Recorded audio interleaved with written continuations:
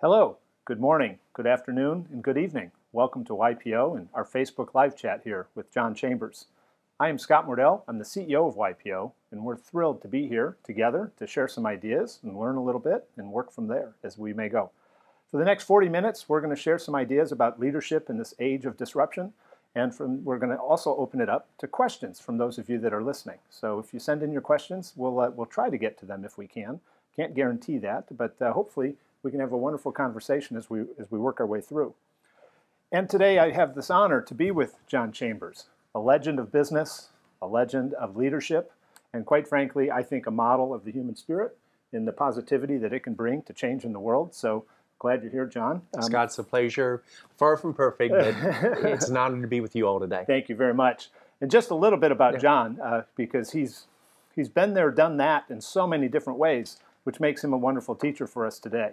During his 20 years at Cisco, he's grown the organization from 70 million in revenue to 47 billion when he left the organization in his, in his 20 years. He's experienced so many different downturns, um, uh, five major downturns, and six very significant um, market transitions as it would go, and he's grown the company through that. All through that time, there were more than 180 acquisitions that uh, he, he, oversaw and led the organization through. And it's wonderful when um, one can look back and say that most of the competitors that you had when you started don't have ceased to exist. Um, so in that sense, it's, it's, it's truly fantastic. Um, with that, um, John's got a recent book, came out last week, and it's called Connecting the Dots, Leadership, I should show it, shouldn't I? Leadership uh, for a Startup World. And it came out last week. I've had a chance to uh, um, spend some time with it. I'm a hard copy person. I get a book and I mark it up because that's how I learn. But it's also available in audio format and electronic format so that can carry it with me as, as we begin to work from there. So thank you, John, for being here today. And Scott, it's an honor to be back with the organization. I think last was March 2017 when I talked to a, a number of your members. Yeah, that was our in-person, and it's yeah. been very good. You were wonderful from this room, I believe, actually, John. Uh, in our Innovation Week, you did a global webcast, which you had some Q and A with a number of our members, uh, and Anna Shin from uh, um, from the local bureau here, mm-hmm. and it's just been great content. And the fact that we can continue to talk about different things with mm-hmm. you uh, really, I think, lay out the framework of you being a, a teacher uh, for us mm-hmm. um, and, and for the world. So, so thank you for that. Well, it's an honor. I'll try to not let you down. The good news is I've seen every movie there is to see, and I've done some things right, made a lot of mistakes, and sharing those perhaps so you, your audience can say, all right, lessons learned, this one I can avoid or this one I can leverage. Fantastic. Mm-hmm. So to start us off, it's, sure. it's, we're having a lot of discussion in YPO now about yeah how the expectations and roles in many ways of CEOs have changed literally in the recent times because of all of the disruption yes. and everything else that's happening. And I'm curious, from your perspective, how would you say things have changed for uh, YPO, YPOers uh, out there, but as well as CEOs everywhere in terms of how things have changed? Well, one of the reasons I wrote the book is I tended to get the same questions regularly, and I thought, well, this is a way to teach, and here are the questions I get, and here are the answers, and here's my mistakes made. But in terms of the core requirements of a CEO, I would argue those are the same. Mm-hmm. Their importance, however, is varying dramatically, and the speed at which they're occurring is varying dramatically. So, a CEO in today's world or a president in today's world, number one, vision and strategy for the company. Mm-hmm. Number two is to develop, recruit, retain, and change that leadership team as appropriate. And as you grow, that's one of the hardest things to do as a leader. Number three uh, is literally culture. And I know as a young CEO, I probably did not put as much emphasis as I should have on that, and I kind of backed into right. how important culture was. And number four is communicate. The communication is at an entirely different speed today, mm-hmm. and this is where you could be a Jack Welch from many years ago, not be a very good communicator, and he would tell you he's not, uh, and yet be one of the greatest CEOs of the 1970s and 80s. Today's world, you've got to be able to listen to social media, you've got to be out there when the bumps come along the way and be a great communicator, and it will go at about three to five times the speed of business just two decades ago. Incredible. Th- thank you. And with YPO, yeah. um, we're recognizing very much that the world needs better leaders. Some people forget the fact that business and commerce ultimately pay for everything that happens around the globe. Um, Creates um, all the jobs. Exactly. And uh, the world needs our leaders to, to bring those businesses together and do different things. And through YPO, mm-hmm. we actually connect across uh, geopolitical boundaries. Mm-hmm. Uh, we're non political. We're all about the leadership and the, the, way that they can improve in the organization. Yes. And so, in that sense, um, this is an um, important mission and purpose of us as an organization. but ultimately each individual takes it for him or herself as, as they begin to go forward. Yes. And with that, what I loved about the book is how you're really creating a replicable pay, playbook that people can work with in order to repeat practices in order to actually succeed in this time. So would you speak to the, the, the playbook and how, how that's come about? Yeah, I actually kind of again backed into it. Uh, as we started to do things, I realized uh, I used to consider uh, process like bureaucracy, and it was bad. And boy, was I wrong. You're never, never able to scale with speed without process behind it, but you've got to design it for speed. And so, one of the first things I designed was how do you do acquisitions? Right. And uh, we literally came up with our seven golden rules of here's how you do acquisitions, understand what you're buying and protect it at all costs. Uh, only do it if it has tremendous strategic importance to you because they're really hard. Uh, only acquire companies with similar cultures, something that I did not think about until I got into it. Uh, further, only do it if you can retain the people because you usually pay such a premium, you won't get the end product out for the next generation. So we developed that playbook, ran it again and again through 180 acquisitions, and I, I think most everybody in the industry would say we, we are the model that they teach at Stanford or at Harvard on how to do acquisitions. But we did the same thing on everything from how you recruit people, uh, how you digitize countries, how you deal with a problem in a customer account, how do you deal with a Cisco family member, uh, now my startup family member, that has a crisis either for themselves, their spouse, or their children. Fantastic. Thank you very much. And we have some conversation Mm-hmm. um, when we're talking about organizations, when we're talking outside of YPO and outside of the leadership space. We'll just remind people that there's an organization really only has four parts to it. There's some sense of purpose in terms of what it's trying to accomplish. Yes. Mm-hmm. People come together for that purpose, and then they need to have some processes so that uh, all the people come together have more impact than they would have individually. Okay. Could not agree And then more. we need some capital, right? So, Yeah. so that's all got to come together. So with it, it ends up coming being people that, that actually uh, revolve around the mission and come together with the processes and, and, and bring the capital. So let's talk about culture for a minute in terms of are, are, are CEOs paying enough attention to culture? What, what, what, what, what can our listeners, our CEO listeners, do about that? When um, uh, any advice you would have in that regard? Well, it, it, when I became a CEO, I, I didn't really appreciate how important culture was, even though I was already building it very strongly in the company on how I interface to customers and how I interface to employees that had a crisis, uh, how I focused on innovation. But I then realized that I've never seen a great company without a great culture. You may or may not like the culture a Microsoft or an Oracle or a Cisco or Walmart or JP Morgan Chase, but you always see very strong cultures. And for Cisco, as an example, the culture is who we are. It's got to be owned by the CEO. The CEO has to believe the culture, has to walk the talk and articulate it.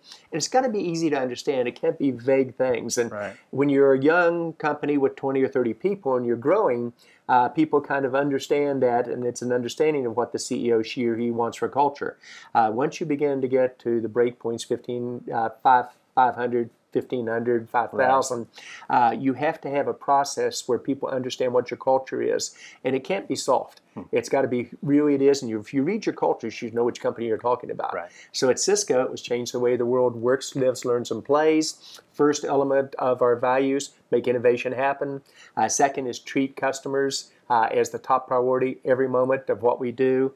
Uh, we are a family. That's not to say that every company should view it that way, but I sure did at Cisco. Knew every illness of every employee was there for them like no one else in terms of the approach.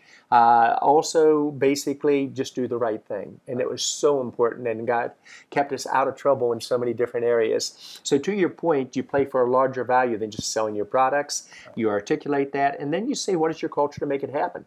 Uh, now, that doesn't mean that many companies won't be successful who believe culture is not about family. Uh, and Netflix was a great company. They're a professional team. You either get promoted and you're up and out or Right. not, but I encourage you to look at their cultural deck, and you you can learn from what various companies uh, focus on. One of my most exciting thing about coaching these young CEOs is that they get vision and strategy pretty quickly, and I Mm-hmm. can help them on that, and I can really help them develop and scale their team. And I work on the communications, often doing interviews together and teaching them how do you sandwich a question, how do you deal with a really tough question with humor, Right. uh, how do you deal with really tough questions. If it's emotional, you deal with facts. If it's factual, you deal with an emotion. Uh-huh. Right. But the culture one is often they kind of look at you and go like the dog does when it doesn't understand what you're saying to your pet. And then when they finally get it, and they really understand the detail behind it and the power behind it, and then they try it with their employees or customers, and they see it. That is what coaching is all about. It's what mentorship is about. Thank you very much. And you know, even in my intro, I was talking mm-hmm. about all basically a picture of the successes that you've had, and, and just right. talking about the growth and the leadership, yeah. and it's a part of why you're such a legend. But in our conversations, and very much in the book, you talk yeah. about the, the value of setbacks versus successes. And so for you, um, yeah. what's more important to you, the setbacks, and what have you learned the most from? And can you share a couple that would help people um, sure. really understand the context? And this, this I did not get as a young leader. And by the way, I never wanted to have any uh-huh. setbacks uh-huh. or any mistakes. And I realized if you're taking risks, you're going to have setbacks and mistakes, and you're not going to succeed without taking them. And uh, if you would have asked me 20 years ago, are you more a product of your successes or your setbacks? I would have said successes. Mm-hmm. And they're a lot more fun to talk about, as we all know. But one of the things you all do with your program is you exchange views and practices. Uh, everybody's going to get knocked on their tail. Right. Most companies never get back up, including the CEO. Mm-hmm. So it's so important to realize you are more a product, or at least equal to, how you handle your setbacks than your successes. And uh, I navigated through five major downturns right. at Cisco, some of them partially self-inflicted, some economically mm-hmm. inflicted, and you develop a playbook for that as well. Right. When the setback comes, how much of it was self-inflicted versus market? Was your strategy working? Uh, how long would it last? How deep would it be? Where do you want to go? And get that playbook rerunning with speed. For those of you who are parents, you know where I'm going with this. You don't worry when your child gets a good grade or they score a goal in soccer. You worry when they get knocked down, mm-hmm. either socially or hit problems in life. For me, it was dyslexia. And if you learn to come through that, then you get your, your child becomes a young adult.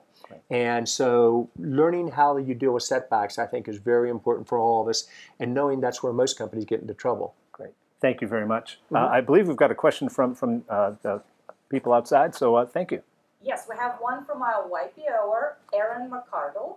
He said, I just got my copy of Connecting the Dots. I have it in my bag now. The first story is about fishing rod is amazing and sort of a to CEO role. However, I'm struggling with how much to share with my team as we navigate trials. Any insight on that? So I, I started with a near-death experience. And at six years old, I fell in the water, uh, rapids at uh, uh, Elk River in, in, Charleston, West Virginia, and uh, I could have drowned. My dad was about 100 yards upstream. And He'd told me not to get too close to the edge, and of course, I got too close to the edge and swept away in the rapids. And when I went in, he yelled at me hold on to the fishing pole. And I'm getting plummeted through the rapids, uh, getting knocked over, coming up for air. And each time I came up, I could see him running down the side of the river as fast as he'd go, yelling, hold on to the fishing pole. And finally, he uh, got to a point where he could swim out and grab me and pull me back in. And uh, he set me down, and he's, he he's a great teacher, and I try to be as well. But he taught me at that time you can't fight current whether it's rapids, an outgoing tide, economic trends. What you've got to do as a leader is know you're going to have the fear, but learn to control it. Right. Hold on to the fishing pole is my words on it. And how you manage that. And then look for how you navigate through the challenge you got yourself into, usually by going with the current mm-hmm. and then working your way to the side. Right. And people drown because they fight the tide or they fight the current on that. And then he did what any great teacher does he didn't tell mom this, but he put me right back in the rapids. Let me go through it again. You go, you go. And yeah. watched me pull myself out. And then he went back to fishing and he went 100 yards upstream again. And what he was telling me is he believed in me. Mm-hmm. So I believe stories are the mm-hmm. way that you convey this. And as a leader, as a young president, you've got to let your team go through that as well and you've got to teach them and you've got to know when do you need to do things for them but when do you need to just give them ideas and empower them to do it? But that's a lesson learned all the way through life and it's one of the reasons i love being a leader. I love building great teams but i enjoy teaching them how to handle their challenges, not just their successes. That's great. And, and working past these setbacks, you, you, mm-hmm. you're talking about some kind of reflection, and, and many yes. CEOs just keep going, right? They'll move from thing to thing, or they'll just keep going. They'll be in the details. How have you created a reflection space for yourself, or how do you think yeah. about this, or make room as you're doing going through this? Well, you've already got the way I approach life. Okay. I, I, basically try to learn from every experience. I believe you learn from everybody in life. Nobody's above you, nobody's below mm-hmm. you, but you learn from the experiences, and then you learn how to share it, not just the story, right. But one of the reasons I wrote the chapters like I did at the end, you hear the stories, and then at the end is what your takeaway. So the way you deal with setbacks is what I said before. And the balance and then you teach people how to deal with it you also want people to take risk and if Right. each of you are watching this uh, first time somebody takes a risk and they fail you fire them or smack them you're not going to have a company that takes Right, risks right. you've got to realize you want to create a culture where people dream and you want to get them comfortable for being beyond their comfort Mm-hmm. zone regularly and uh, that's what i now enjoy doing i didn't like it at Yeah. first when my team would push me outside my comfort zone now actually i enjoy it a lot Thank you. You're touching right on something that's very important to, to Okay. YPOers and the nature of our organization.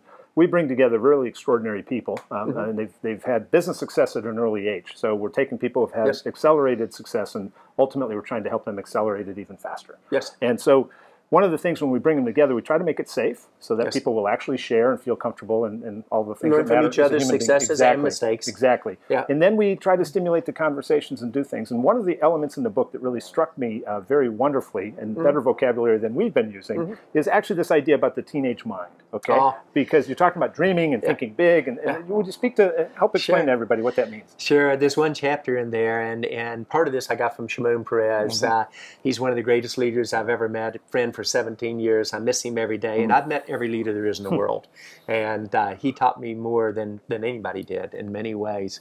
Uh, he taught me leadership was lonely, and I thought it wasn't lonely until 2001. Boy, was Oh, he boy, right. right. And uh, he also taught me to think like a teenager. And much like your teenagers, those of you that have children that age, they do all kinds of things at the same time multi-process with tremendous speed, eating, uh, exchanging things on social media, doing their homework sometimes, talking to you at the dinner table. You almost have to text them to say, hey, I'm ready for the next conversation. But having that process of just so many things and gathering the data so quickly, I think, is the future for leaders. And uh, then thinking like a dyslexic, because dyslexics can't do things serially. You gather the data and you have to picture the outcome. Okay. And so one of the chapters talks about what are the lessons learned on that, and how do you deal with your setbacks and then make a setback a strength. Uh, I used to be one of the worst public speakers imaginable, and uh, I realized that to be a good CEO, I had to get much better. And I used to throw up before I presented. I mean, that's how scared I got. And I learned to overcome those fears and then focus on how do you communicate, much like I'm looking somebody right in the eye and talking to them about what's important, and never memorizing a speech because I'll lose my spot on it, being Right. dyslexic because I read backwards. But take a weakness and make it a strength. And then once you do that, it's like the lessons with the kids. You get stronger and stronger on that. And then teaching people how to, to balance that as well. Right. Thank you. Fantastic. And so, in your progression, you, very many um, experiences from within the organization and Shimon Peres and, and everything else, but um, we're all also realizing that the CEO is a pretty lonely role. And, and so, where does one go for, for support, and, and who do they bounce ideas off, and who do they get honest feedback back to? So, could you tell a little bit about your network uh, of peers as you kind of bounce things up and, and, and progress as you've gone? Well, it, it shaped what I'm literally doing today because I learned early on, whether it's from my dad or from my mom or or people I met early in life about lessons learned. And so I developed mentors and I'd spend a lot of time with them. And I didn't hesitate about asking for help Right. uh, on it. Lew Platt here in Silicon Valley, when I came out here, I didn't know the Valley. He was president of Hewlett Packard. Uh, I was running a company called Cisco, which most people got confused with the truck company, the food company. Right. I called him up and I said, Would you spend time with me? And he did. Then at the end of the session, I said, Would you do it again next quarter? He coached me for three years. Okay. After that, I asked, What can I do for HP? Because we were on a roll by then. He said, Mm-hmm. Do it for the next generation. So I've learned how important coaching and mentoring is.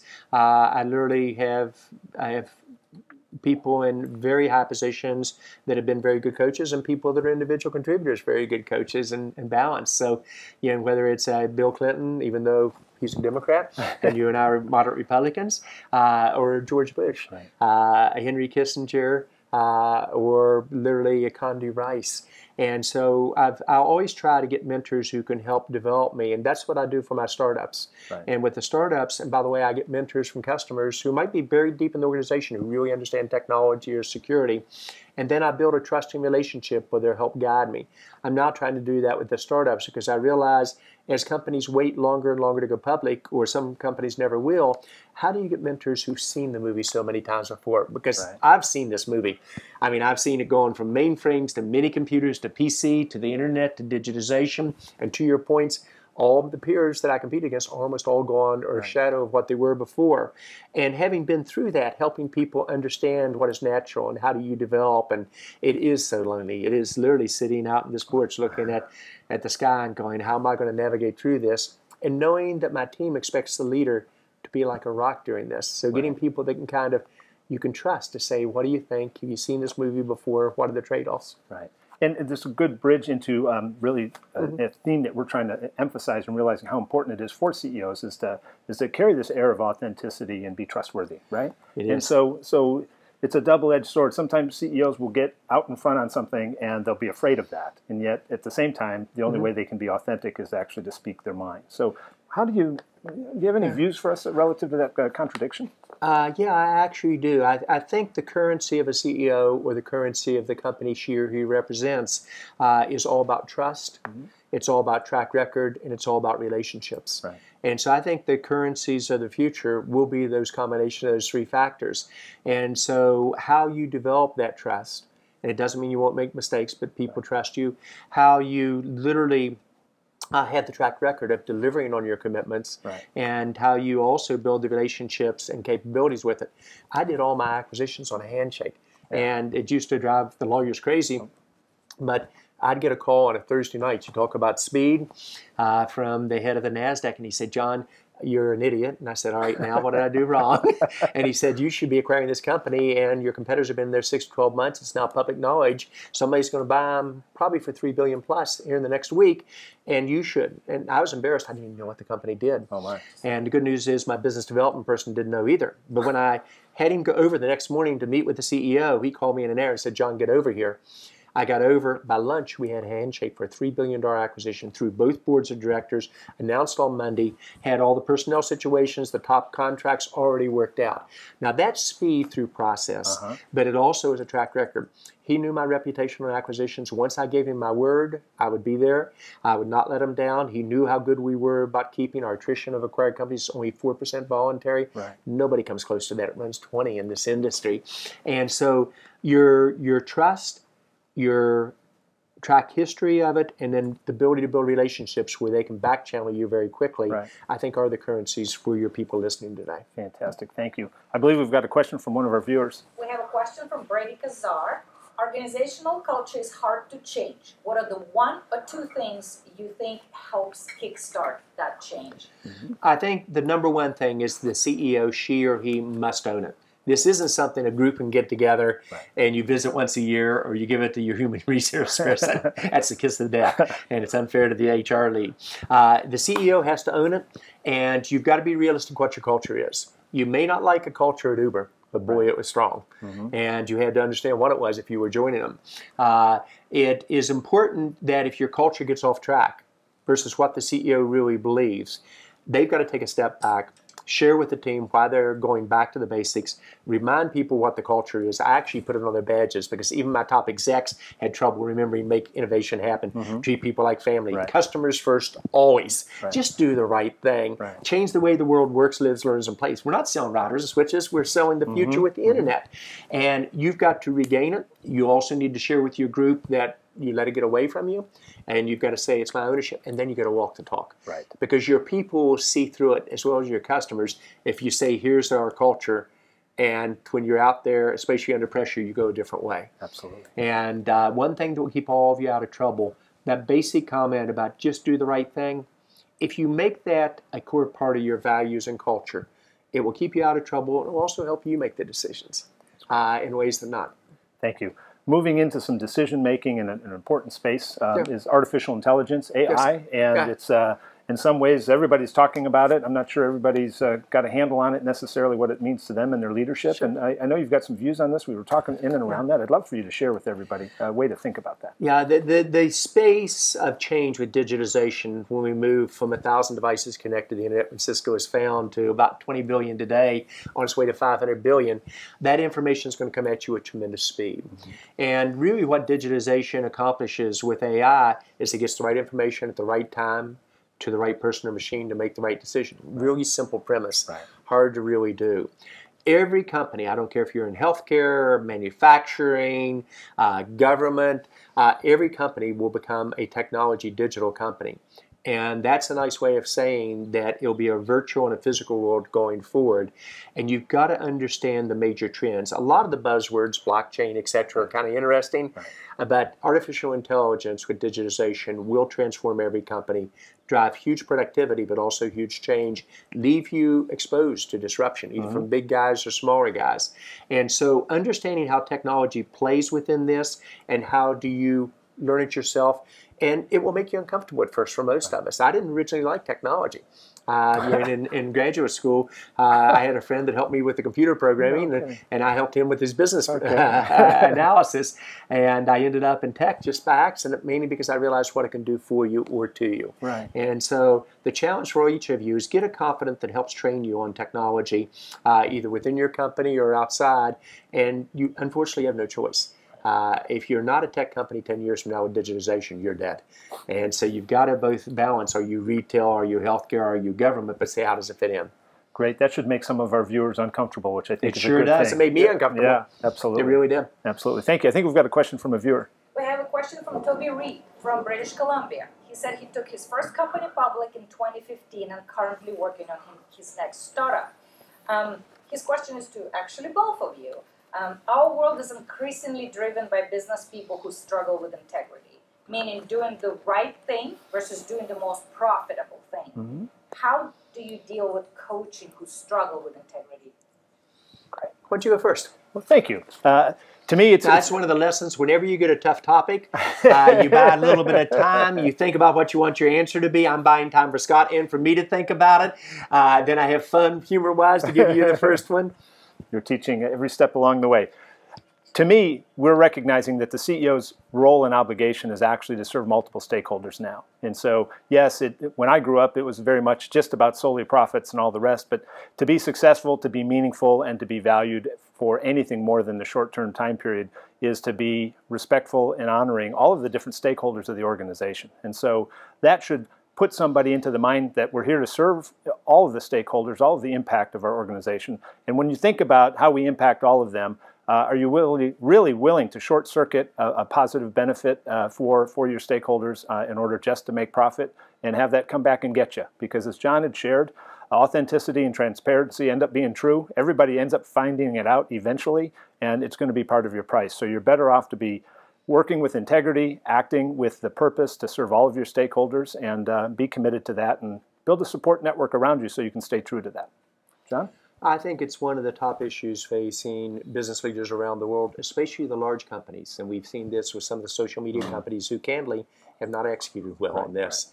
Right. And uh, uh, I believe, first of all, that uh, it's not just the right thing to do, it's just good for business. Mm-hmm. Uh, every place in the world where I was number one in corporate social responsibility, and we won every every award there was, uh, from a Democratic president, a Republican president right. in the U.S., to the Middle East, to China, to India. Uh, wherever we did a good job of being transparent and giving back, we were number one in market share.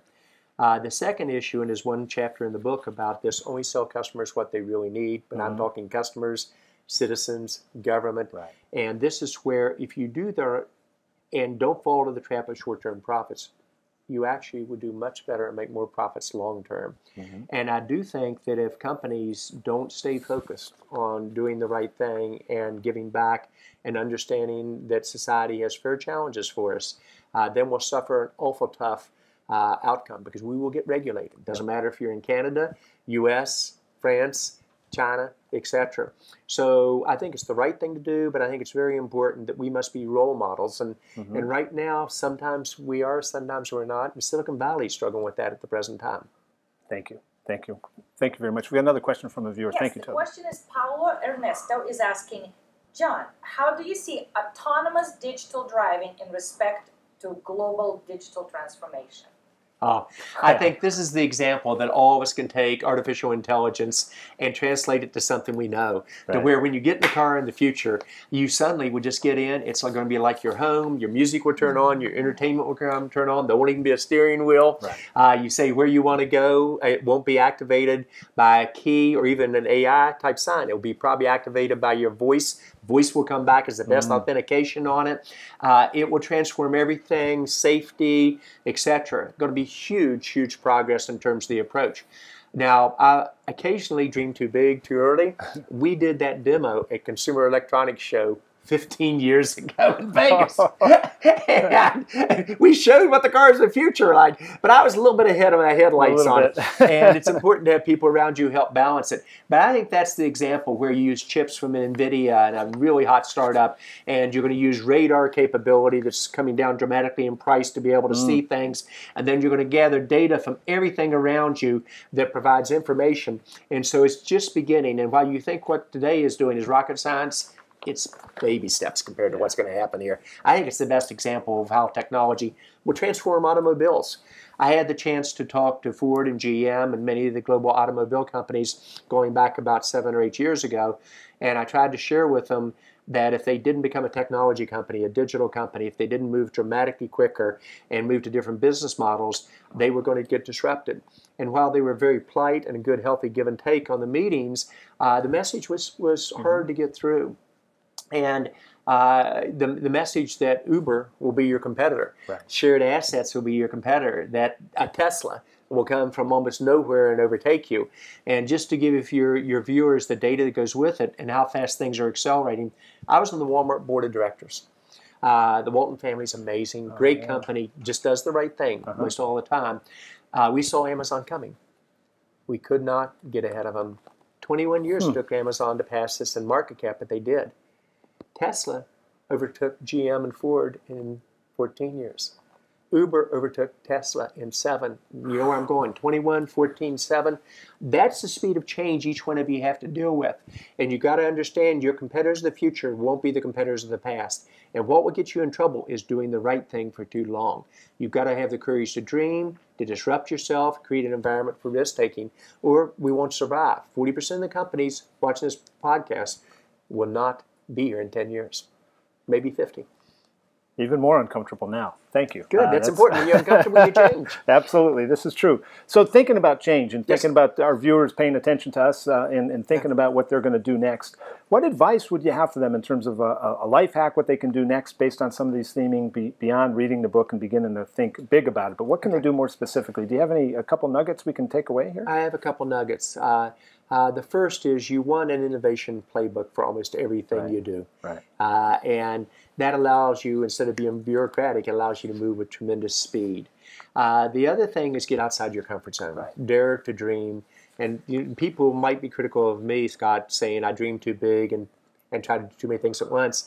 After thinking about it, and it's fun now that I can be independent, I actually think I should have dreamed bigger and take more risks, and I'm doing that with my startups. I mean, Right. I'm so far outside my comfort zone on startups it will shock you uh, with what they can convey and the approach that we use.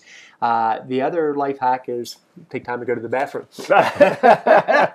Finish your meeting, summarize it, do the bathroom, make the phone calls, get the next meeting off to fast start. It sounds basic, but if there's one one takeaway, it's all about the ability to have a vision, a strategy where you want to go, build the team around it, and how you're going to use technology in that, and the importance the CEO plays in that. Fantastic. You know, we were talking about a couple of the startups that you- you're Mm-hmm. excited about now, and this might be when you start thinking about it so differently. Yes. Uh, um, uh, why don't we talk about those? Okay. I would love So- to because I have ones that that do social media and I have ones that do security. Yeah. But two that might shock you and kind of give you an idea how far outside my comfort level I go regularly. Uh, the first one is this gets announced today. It's a company called Privoro. You basically, it's a secure case for all phones. It will start with the iPhone and then go beyond it. You slide your phone straight into this, you close it. It is nation state hack proof. And so, with your phones today, anybody can, with a little bit of expertise, can dial in, turn on your audio, uh, actually run your cameras, whether you're at home or in a meeting. They come listening points in businesses. They can download your email, watch your strokes that you're using, etc. Which is why most events agencies won't even allow smartphones in their buildings anymore. And uh, same thing's going to happen in business. Uh, this is a company of 17 people. And when I first saw it, and a friend asked me to look at it out of Arizona, I said, "You got to be kidding me!" And then once I got it, amazing on what it could be. But that's where the ability to dream, address a real issue with technology changes can be huge. And it was well outside my comfort zone. This about the time you think that I'm taking too much risk, you want to think about what I'm trying to do next. This is perhaps the solution to world hunger And this might be where insects, especially crickets, become the next lobsters in our life.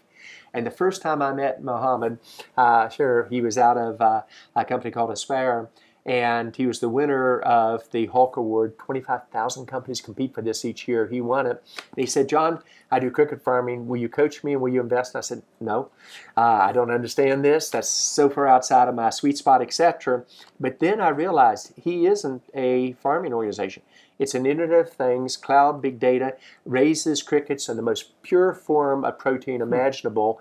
Uh, it's the easiest for us to digest. It does one seventh to one tenth the environmental damage that the meat that I love does to the world. And it can be the solution for world hunger. And typical me, I also said, let's move, make it to the lobsters of the future. So we go to a restaurant like the three star restaurant here in San Francisco, Saison's, and we had a seven course cricket dinner there with uh, the press watching us do this. So, Scott, I'm going to test your comfort level. I love protein. And you know what I'm doing for all of you all on this. I want you to operate outside your comfort zone. Take risks that you never would have done before. Have the courage.